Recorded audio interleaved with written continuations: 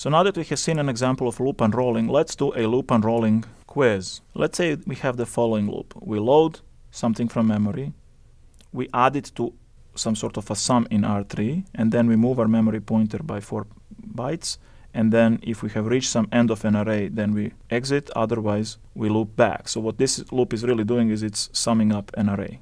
Let's say we have a processor that is in order and executes one instruction per cycle.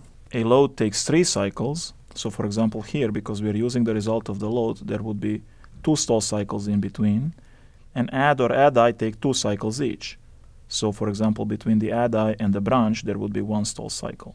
So the question for you is, after scheduling this loop but without applying any unrolling, it takes how many cycles to do a thousand iterations of the loop? And then after unrolling once, meaning we do the work of two of these iterations per new iteration, and then scheduling the loop, it takes how many cycles for a thousand iterations.